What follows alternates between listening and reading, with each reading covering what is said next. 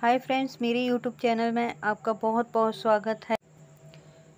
गर्मियाँ शुरू होते ही जब हम किसी ठंडी चीज़ के बारे में सोचते हैं तो सबसे पहले नाम आता है मैंगो मिल्क शेक, जो कि पीने में बहुत ही ज़्यादा टेस्टी लगता है। एकदम क्रीमी क्रीमी बहुत ही ज़्यादा टेस्टी ये मैंगो मिल्क शेक बन के तैयार होता है।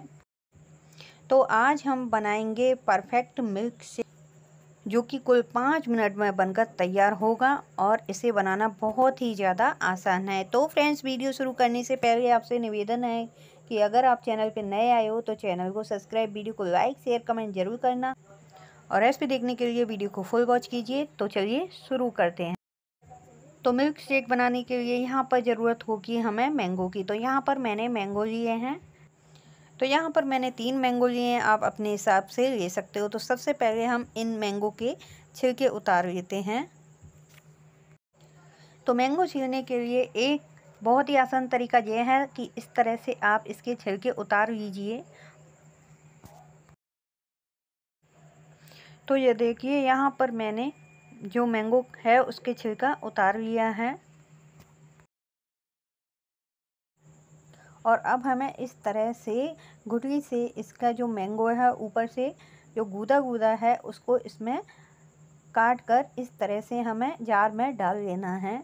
तो सारे मैंगो को मैं इसी तरह से काट कर और इसके जो गूदे को इसमें डाल दूँगी और एक हम इस तरह से मैंगो को काट सकते हैं। उसके बाद इस तरह से मैं दूसरा तरीका बता रही हूँ। इस तरह से मैंगो में इस तरह से कट लगा लीजिए और इस तरह से आप इस जार में डाल दीजिए।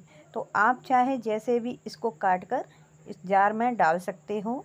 तो मैंने दोनों ही तरीके बता दिए हैं और मैं सारे मैंगो को इसी तरह से इसमें डालूँगी।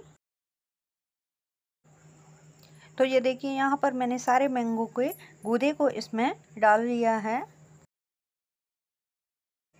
और अब हम इसमें दूध डाल देंगे। तो दूध आप अपने हिसाब से डाल सकते हो। अगर आप गाढ़ा मिल्क शेक पीना पसंद करते हो तो कम दूध डालिए। पर मैं यहाँ पर ज़्यादा ही दूध इसमें डालूँगी, क्योंकि मुझे थोड़ा पतला सा ही पसंद है। उसके बाद यहाँ पर मैंने इसमें चीनी डाल दी है और अब मैंने इसमें आइस डाल दी है। तो सारी चीज़ों को हमें इस तरह से इसमें डाल देना है।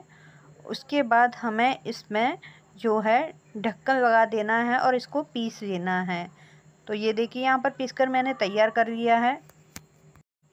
और यहाँ पर मैंने लिया है एक कांच का गिलास और अब मैं इसमें डालूँगी थोड़ी सी आइस, जिससे और भी ज़्यादा ठंडा ठंडा अच्छा लगेगा। उसके बाद हम इस मैंगो मिल्क शेक को इसमें डाल देंगे।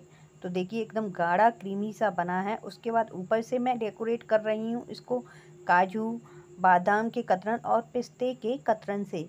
उसके बाद ये देखिए, हमारा क्रीमी ताज़ा और ठंडा मिल्क शेक बन के रेडी है। बहुत ही ज़्यादा पीने में टेस्टी लगता है। एकदम बाज़ार के जैसा ये बनकर तैयार हुआ है।